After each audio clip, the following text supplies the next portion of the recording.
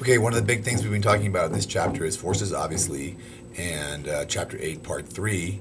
And I just want to go over really quickly what forces are so that we can uh, be very clear about that. Okay, here's a definition of a force. Force is a push or pull that causes an object to change its motion. So if it's going to change its motion, it's going to accelerate, and that means speed up, slow down, or change its direction. And forces typically result from the interaction between two objects, right? You want to push something, you got to actually interact with it, so to speak. You want to get a ball to accelerate, you got to kick it. You want to get a book across the table, you got to push it. And like I said earlier, it's very important. Forces cause acceleration. That's kind of the way we've been talking about it in class. Cause things to speed up, slow down, or change direction. Forces kind of be can be placed in two different categories. Um, one is contact forces. Contact forces are when two things are actually touching; they're in contact with each other. Non-contact forces are things are not actually touching. So these are the typical forces that we deal with mostly in class. Um, let's just go over here and talk about this non-contact force. If an object is an object, if it's a thing, if it has mass, it's going to have a gravitational force, unless it's way up in space and there's no gravity or very small gravity. But when we're on Earth, kicking a ball, sliding a book, everything is going to have a gravitational force. Has mass, has gravity.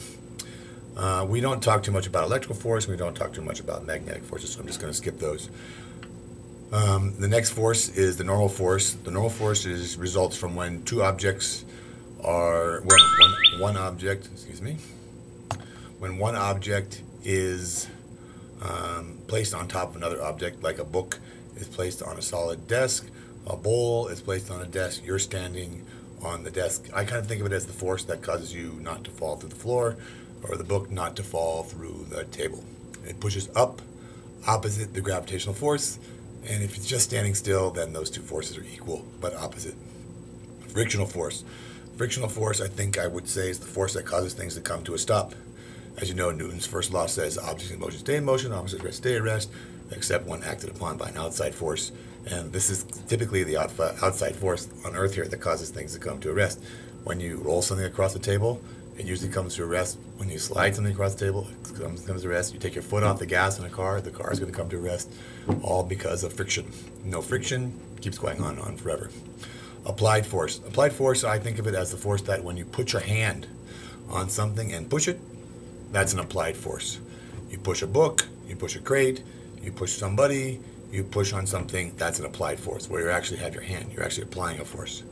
Air resistance comes from air. You know, something is going very quickly into the wind, that's air resistance. A skydiver is falling out of the sky usually has air resistance. Sometimes when we have small things and they're relatively smooth, we say we neglect air resistance because it's pretty negligible. Spring forces we haven't talked about that much in class, but something is bouncing up and down on a spring. That force is being exerted by the spring. Tension is a one sometimes people have a hard time with.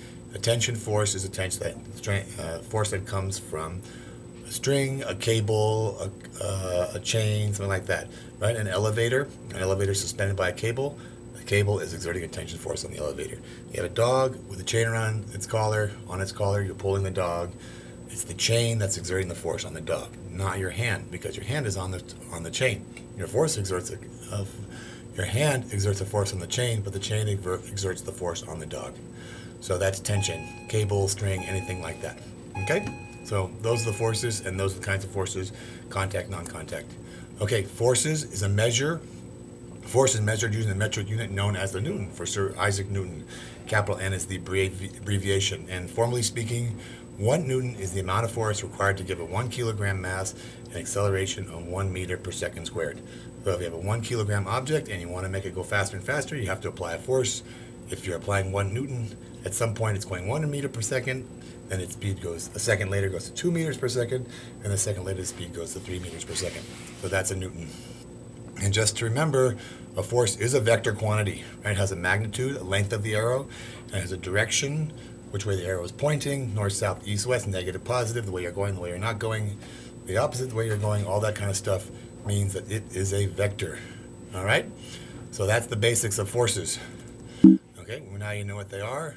Now you know the definition of a force. Now you know the different kinds of forces. And now you know kind of the formal uh, um, units, what it is exactly, and that it's a vector. All right? So there you go. Thank you very much.